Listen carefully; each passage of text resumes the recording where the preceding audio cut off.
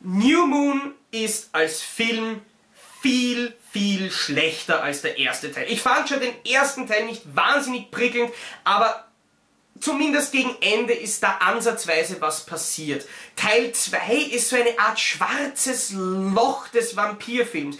Es passiert über so lange Strecken, so einfach wenig. Der Film ist so berechenbar, so konfliktarm und einfach nur einschläfern. Für mich ist das doppelt schade, weil wir haben in einem Film sowohl Vampire als auch Werwölfe, zwei große und wichtige mythologische Kreaturen, die man so toll gegeneinander antreten lassen könnte und womit man so toll einen spannenden Film erzeugen kann. Aber das Einzige, worauf sich New Moon in Wirklichkeit konzentriert, ist diese weinerliche, komplett uninteressante äh, Langweilerin namens Bella, wo aus irgendeinem Grund gleich zwei Typen ihr hinterherrennen, ähm, was mich extrem verwundert.